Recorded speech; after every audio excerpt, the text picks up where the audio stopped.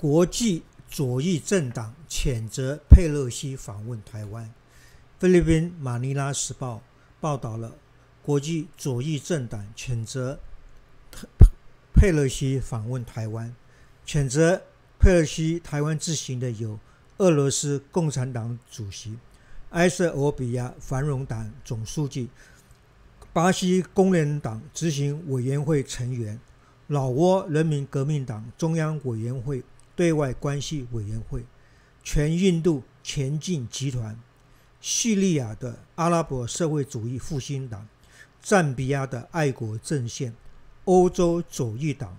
巴基斯坦民主党、伊朗伊斯兰联盟党、黎巴嫩独立纳赛尔运动、也门社会党、约旦共产党、秘鲁共产党、白俄罗斯共产党、塔吉斯坦共产党。